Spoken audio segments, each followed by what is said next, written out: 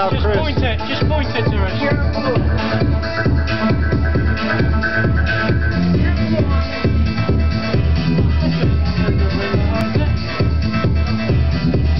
Get closer together.